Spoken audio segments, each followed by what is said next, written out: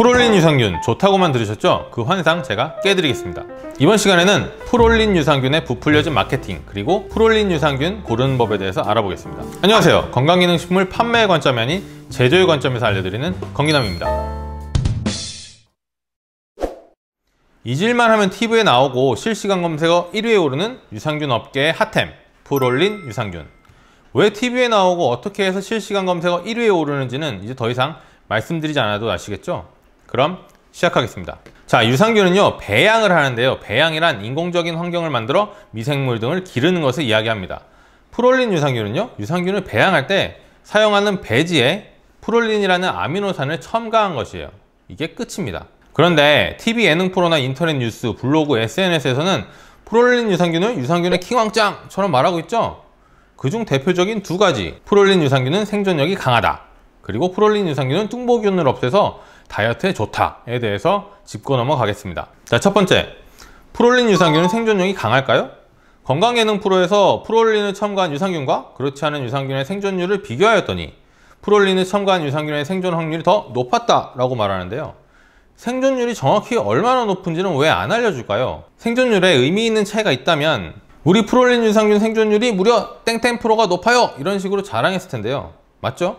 홈쇼핑 쇼호스트들이 하는 가식적인 멘트 상상이 가시죠? 막 오버하면서 자 1% 0.1%만 높아도 생존율이 높다라고 말할 수 있습니다 그렇기 때문에 단순히 생존 확률이 높다는 말만으로 프롤린 유산균이 더 좋다는 건 근거가 한참 부족합니다 다른 유산균들은 바보인가요? 당연히 동일한 배양 과정에서 프롤린을 넣지 않은 유산균보다는 강하겠죠 그런데 프롤린이 아닌 다른 물질로 균체를 강화한 유산균들보다 더 강할까요? 최신 기술들로 코팅한 유산균보다 강할까요? 장용성 테스트를 통과한 유산균 제품들보다 정착성, 안정성, 생존력이 좋을까요? 제가 유산균 1, 2, 3편에서 유산균의 수많은 특허들, 도찐개찐이라고 말씀드렸죠? 프롤린 유산균을 만드는 프롤린 공법도 수많은 유산균 특허 중 한 가지에 불과합니다. 유산균 제품 고르실 때 중요한 포인트가 절대 될 수 없습니다. 자, 두 번째.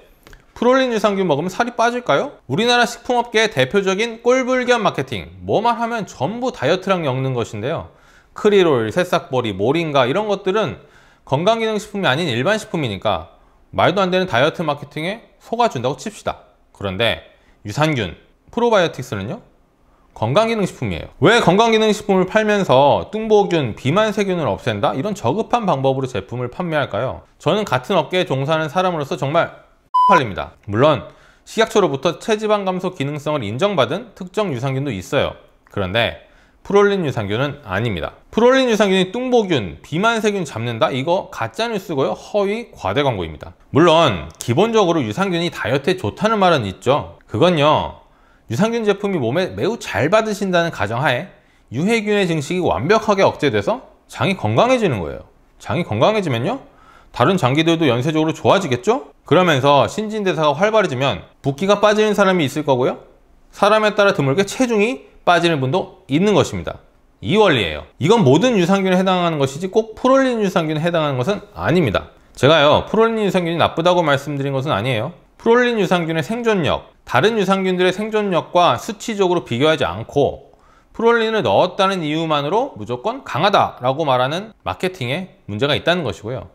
살이 빠진다고 해서 무조건 프롤린 유산균을 드시면 안 된다는 이야기입니다 자 다음은 프롤린 유산균 고르는 법입니다. 이거 주의하셔야 해요. 프롤린 유산균이라고 판매하는 유산균은 무려 세 가지 종류가 있는데요. 그중 두 가지는 가짜이기 때문입니다. 첫 번째 유산균 배양 단계에서 프롤린을 넣은 것두 번째 배양 단계가 아닌 제품을 제조하는 과정에서 부원료로 프롤린을 첨가한 것세 번째 프롤린 유산균으로 검색은 되지만 프롤린과는 전혀 무관한 것. 이렇게 세 가지가 있습니다. 먼저 유산균 배양 단계에 프롤린을 넣은 것은요 이게 진짜 프롤린 유산균이에요. 제품 상세 정보에 프롤린 공법이라고 써 있고요.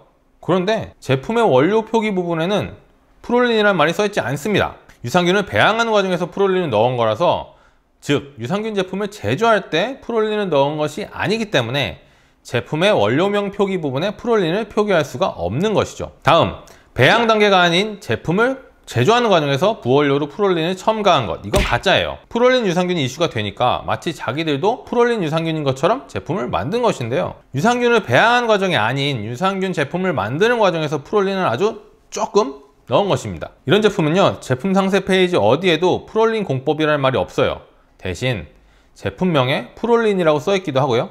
부원료로 프롤린을 넣었다고 광고합니다. 그리고 제품 원료 표기 부분에 L 프롤린이라고 써 있어요. 자, 부원료로 첨가된 프롤린은요, 유산균과 아무런 시너지 효과를 낼 수 없습니다. 프롤린이 식물의 해충이나 외부 스트레스 요인으로부터 자신을 방어하기 위해 내뿜는 아미노산의 일종인 좋다라고 하는데 사람이랑 식물이랑 같나요? 이렇게 배양 과정이 아닌 유산균 제품을 제조하는 과정에서 단순히 부원료로 프롤린을 넣은 것들은요 유행에 편승하려는 굉장히 나쁜 제품들입니다 한마디로 짝퉁이에요 양심이 요만큼도 없는 거죠 마지막 프롤린 유산균으로 검색은 되지만 프롤린과는 전혀 무관한 것은요 이것도 가짜입니다 이런 제품들은요 유산균을 배양하는 과정에서 프롤린을 넣은 것도 아니고요 유산균 제품을 제조할 때 부원료로 프롤린을 첨가한 것도 아닙니다. 당연히 제품 상세 정보나 제품의 원료 표기 부분에 프롤린이라는 말은 없습니다. 그냥 프롤린 유산균이 이슈니까 인터넷 검색에 얻어 걸리려고 프롤린 유산균이라고 써놓은 것 뿐이에요. 이것도 나쁘긴 한데 좀 순진하죠? 저는 두 번째 말씀드린 놈들이 더 나쁘다고 봅니다. 진짜 프롤린 유산균 고르시려면요. 프롤린 공법이라고 꼭 써있는 제품을 고르셔야겠습니다. 이번 시간의 결론!